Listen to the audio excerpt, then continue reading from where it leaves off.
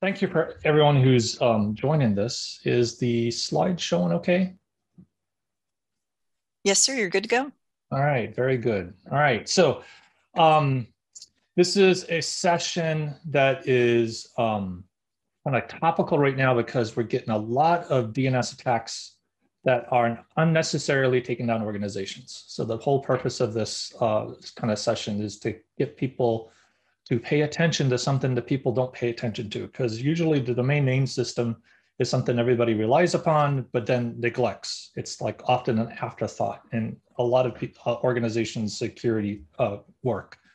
Um, i'm going to put these up when we get over to the q&a session in that chat area. I'll put these up there also but i'm putting here so it's recorded. Uh, these materials are open to people to take uh, cut and paste slides, use them in your presentations because the purpose of this is to put the alert out, let everybody know that there's a threat.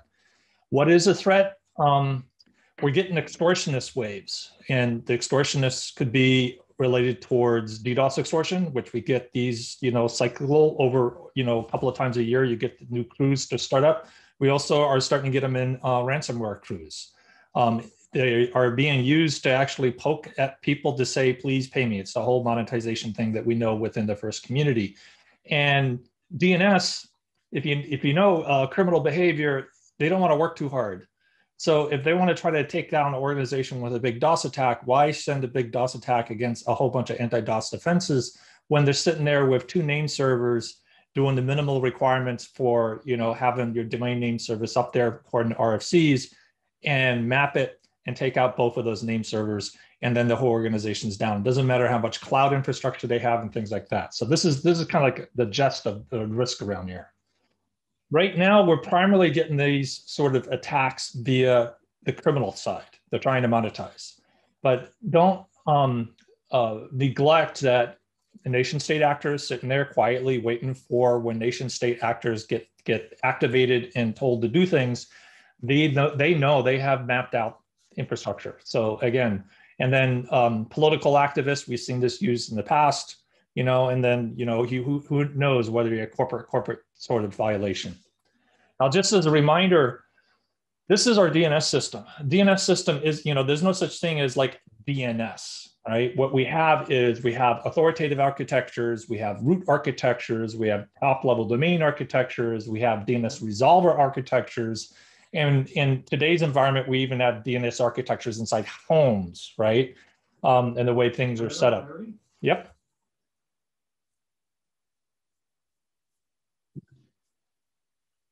Yes.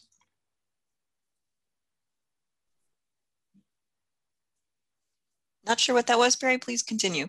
Okay, please continue. Okay, thank you.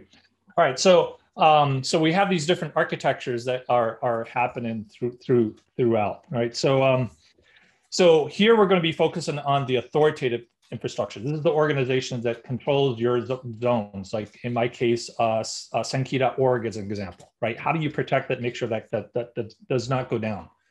So in here, what we're going to walk through is what the miscreants kind of know. This is kind of like their playbook. This is the sort of different techniques they're going to use. And we're going to do this as a, as a shorter session there's a longer set of slides when we point over to the materials that, that you can use this shorter session, slides out of this, or you can use longer sessions to help explain to your management and says, we need to pay attention to these sort of things, right?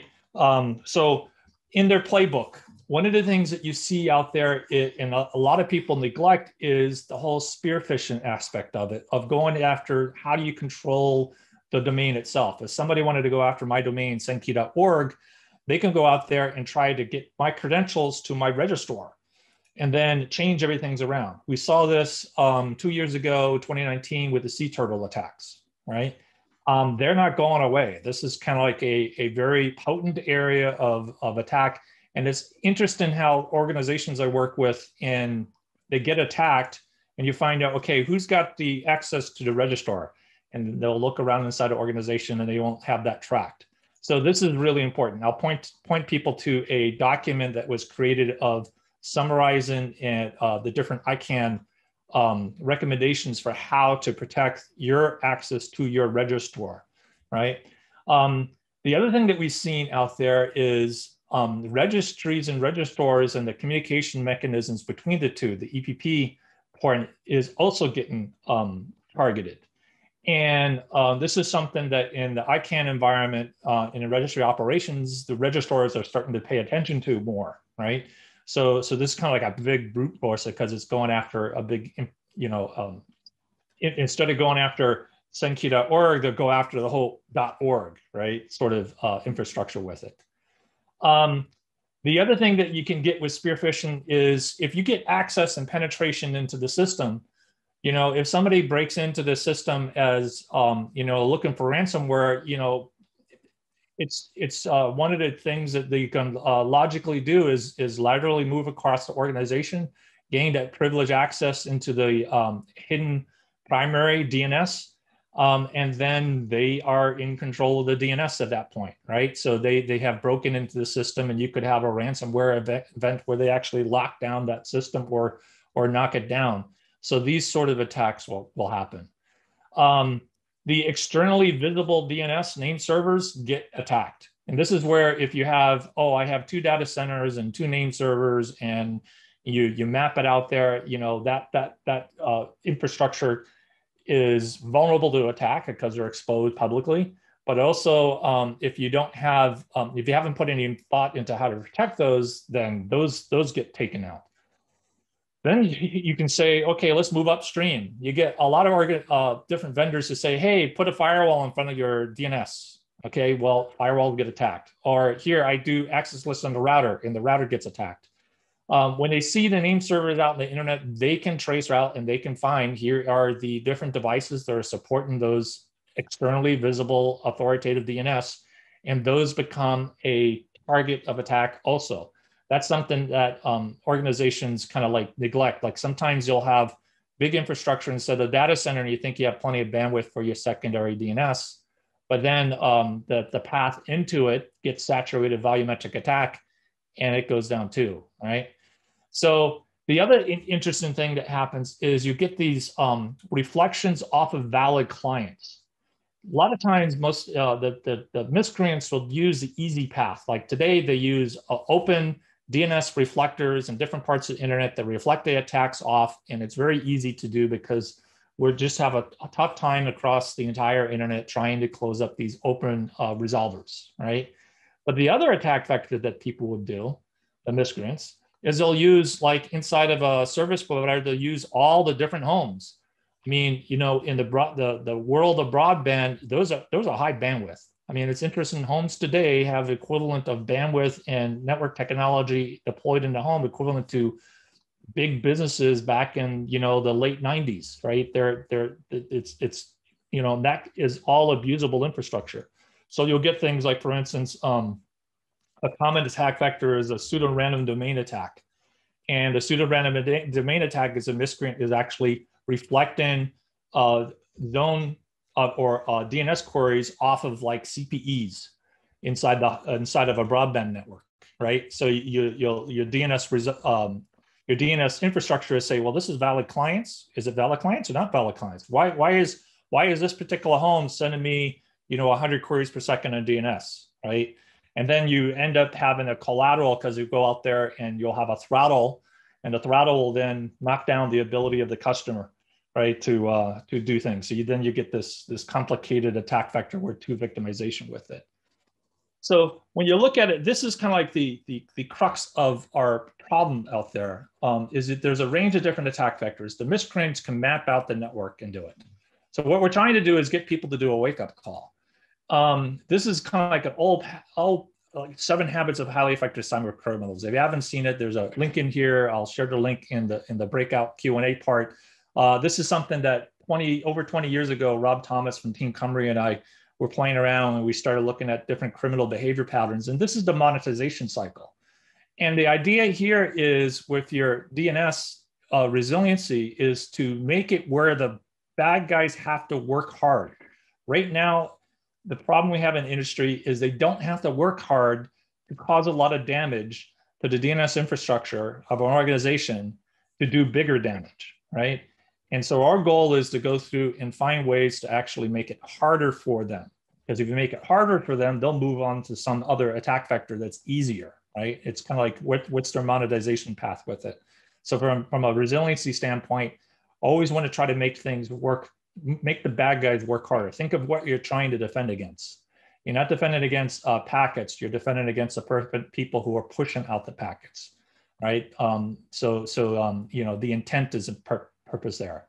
So, you know, the three power recommended actions. You know, number one, don't forget DNS. That our number one problem with DNS resiliency is people, you know, have an afterthought. Um, it's it's like neglected. It's like who's your DNS people who take care of a DNS? Um, and then they think, think, think, and they have to think of who's actually managing their their DNS systems, right? So so um, and the people who are managing DNS systems, they're usually jumping up and down and says, "Can I get can I get uh, resources to do things?" And they go, "No, no, we have more important things to do." And then you get a you get an attack, they hit the DNS, and then everybody complains that the DNS person didn't do anything. That's that's a situation we just need to get out of. That's that's the number one problem of DNS resiliency is it's it's an afterthought, and the people who are doing it are not getting the help they need to do. Right. So so the periodic review, look at what you have, make sure you have all the the passwords, infrastructure, things like that. Um, number two is turn your DNS into a good you know, on the resolver side, turn it into a security tool. This this is a different talk to go into there, but uh, one of the most effective tools for helping to protect not only your organization, but also keep an eye on what sort of miscreant activities could be poking at your overall DNS architecture, resolver and authoritative is, you know, uh, you know, thinking of DNS as a major element in your security uh, uh, um, topology. Um, and the last one related with this um, the days where you had you know uh, two name servers inside of uh, behind a T1 connection in your data center, those are over. Um, it's uh, we live in a hybrid architecture which is mixed with cloud and edge and different topology networks and globalization and things like that.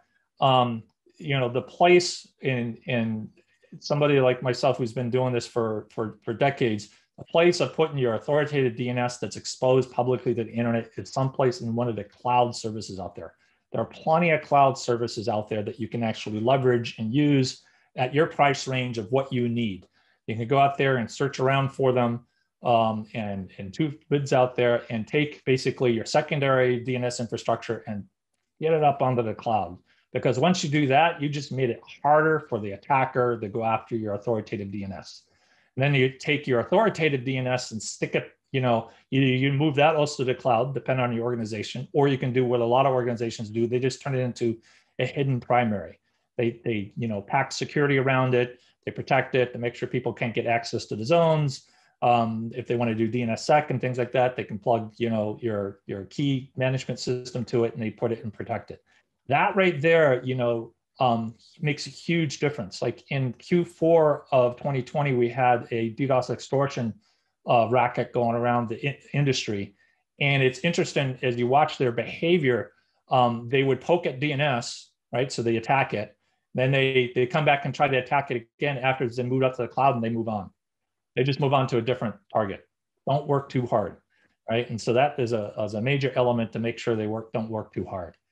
The other aspect, if you go back to 2019 and Sea Turtle, is all the different things to make sure between you and your registrar is taken care of, right? It's it's amazing how um, you know in doing reviews, and I'll get on with different organizations and say, let's do a review of DNS authoritative infrastructure. Let's start talking about your registrar access, and they haven't done any of these stuff.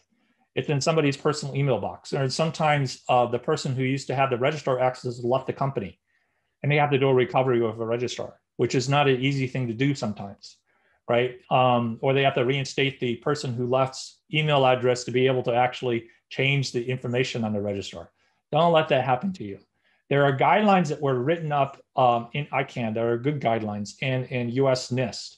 Um, the problem is they were very convoluted. So what happened is a bunch of us um, in, in Akamai, we kind of like summarized everything. So we put this together as an industry white paper and many organizations cut and paste with our permission to use this. It's kind of like a summarization of step one, step two, step three, covering these sort of things. So it's a good thing to kind of look at and add to, you know, um, every at least once a year, if not twice a year, just kind of go through the list and make sure everything between your authoritative DNS and the registrar is following these sort of um, best practice checklists that are listed out by uh, ICANN and other organizations with it.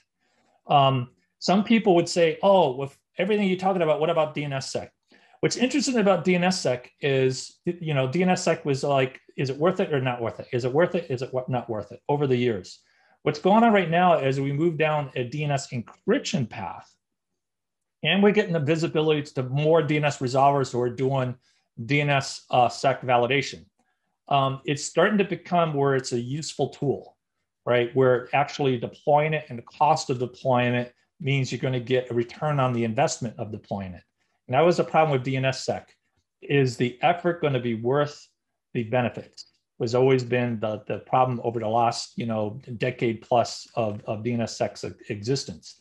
We're now getting to a point where it is becoming valid, good resource out there. So um, it's something to you know take care of everything else for DNS resiliency, and then circle back around to DNSSEC. It's it's actually something to kind of look at with a different range of attacks, not on your authoritative, but on the resolver side you know so um, so that's something to pay pay pay attention to so um, now since this is related to dos and dns resiliency there are some papers out here in this presentation when you download that can help you as as good checklist of like am i doing the right things to prepare for attack? Each one of these include check your dns right? So what's interesting there is you know if you go to the UK NCSC, or you go to the NIST, or you go to Australian Cybersecurity Center, or you got some of the, the work that um, I did on behalf of BDOS um, uh, working groups, um, uh, that you'll find that DNS is right in the middle of it, right? You, um, so, so um, you know, these are things that if when you pull down the presentation, look through them, these are good guides that help you build overall DDoS resiliency and DNS is one of the first things you take care of with the authoritative DNS part. If you're gonna walk through, like you, got to pick the priorities ones. These are the ones I send out to organizations. Do these first. Where um, number one is you go through like ten steps to prepare, you know, for the pain. If you know you're to get hit with a DOS attack, here's the things to do. Priority. There's a lot of things you need to do, but here's the ten things to do a priority. And then um, then you have critical security conversations because DDoS isn't protected by yourself. You know, if you're under threat of a DOS attack, it's a community response plan. Like with first, it's a community response plan. So you'll, you know, those of people, everybody here who's part of the first community will see these seven critical security conversations as very normal from, from what we do in our community as incident responders. Um, the materials, as I mentioned, are all public. Um, if you can't find it, just remember Senki.org. I take all my materials I present, you know, wh- wherever I'm at, I, I put copies of it up there so you can find it up there. You got my email addresses on that. Um, and then I'll re I'll put these also into the area in the Q&A section. And since I had a couple extra minutes here, I wanted to make sure people kind of understood these seven seven monetization factors and related to DNS. Um, and why you know it's interesting to kind of circle back around to see how these the seven habits applies to authoritative DNS. You know they can what you know so principle number one miscreants. If I'm a criminal, I want to you know make money for criminal activities and not get caught. That's rule number one. If they if they do an attack and there's a chance of tracing back to them to find them and put handcuffs on them, uh, they're not going to do it.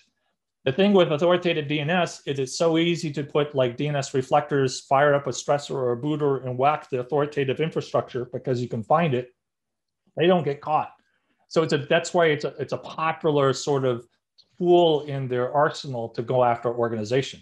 They also don't have to work too hard because if an organization hasn't done any sort of thought on DNS resiliency, or they did things like, oh, let's stick a firewall in front of it and make it easier to take out because I can do a, a attack against the firewall itself. Um, then they, you know, you, you, you know, they don't have to work too hard. Um, it's a it, interesting tool because we see it now with the DDoS extortion. Um, pay me these bitcoins or else. Whack, you get hit with a DDoS against their DNS infrastructure, right? So they they can make money off of it. So they they'll follow the money. They can do it now. Bitcoin the Bitcoin um, you know has made monetization of criminal activities uh, easier easier for them. Um, they will move upstream. In other words, if if you think that you can like have big data center resources to protect your DOS attack or stick them all behind, you know, uh, DOS defenses, they'll move up because they can trace route into the name server and they can find out which router to tack into. So those are your couple dependencies. And of course, they'll tack from all over the internet and, you know, all, all the other sort of uh, factors with it. So that is um, kind of like a little jest with it. Um, so um, I'm looking forward to Q and A's that people have. Uh, come on over with it. If you have questions also, and here's our little chat room there. So I'll I'll be there waiting around. Uh, drop things into the chat so people can you know explore the different links. And then again, um, just uh, contact me if you have any questions directly, because a lot of times in security space, we all know that um, you don't want to ask questions publicly. Um, we go one on one. I'm also on the first Slack, so you can find me on the uh, first Slack there and ask me questions on that one there. So I'm a little bit early and thank you very much. So Sean, I'll hand this back over to you. Awesome, Barry. Thank you very much. And, and again, Barry will be over in the QA uh, two room in uh, Work Adventure. So it looked like you already had your little icon set up and your little stage ready to go. So excellent. Indeed. Excellent. I'd like to thank everybody who's joined us uh, today. Uh, we've had some very good talks. Please come back tomorrow. Uh, we will have more, and you can join us either through the website or through the YouTube channel. And we look forward to seeing you tomorrow. Thank you very much.